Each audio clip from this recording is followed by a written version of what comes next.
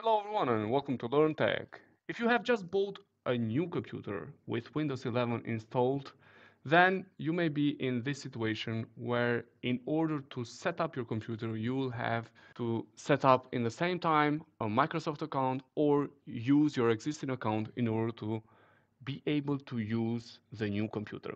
In this video, I'll show to you guys the only and the last method that can be used in order to bypass using a Microsoft account when you set up a new PC.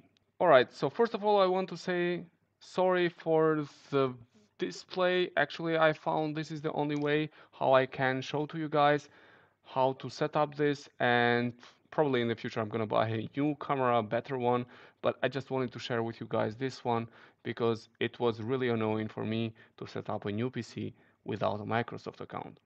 One of the methods to use before was not to connect your PC and then you just say that you are having issues with your internet and then you will be able to go to the next step where you don't need to create an account. But unfortunately now Microsoft doesn't allow that. You cannot start the setup of your computer without connecting to the internet.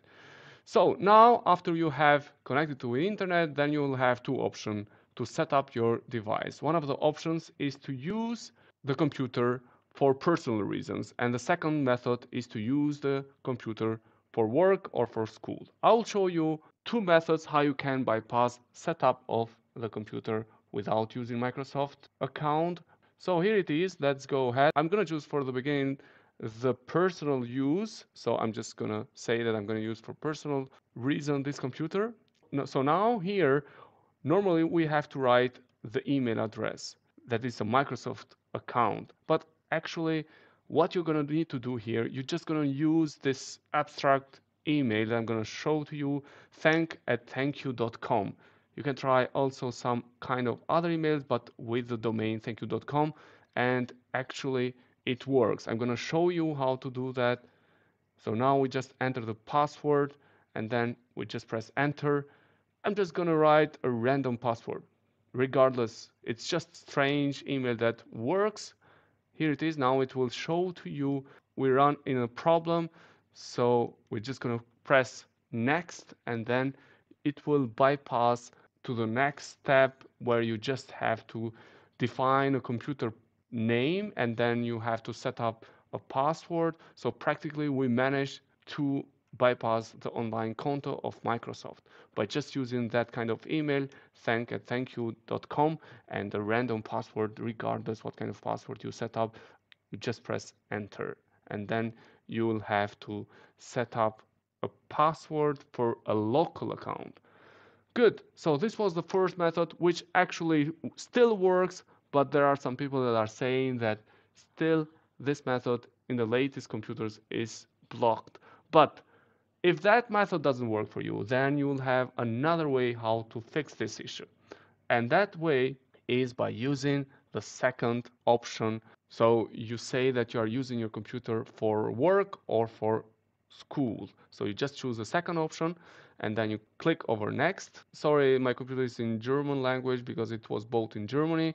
And now here you have to select over login options. So here at this arrow here, you choose different login options. And then after that, you have to choose domain connection. So not the first option, which is with a pin or whatever, you choose domain connection and then, or domain join. And then here we are. Now we can go ahead and set up a computer name and then we pressed next and we set up a password. So basically we have managed also with this other way to bypass Microsoft account or to bypass the setup of this computer without a Microsoft account by just choosing that I'm going to use this computer for work or for school and then at login methods or login options you choose domain join.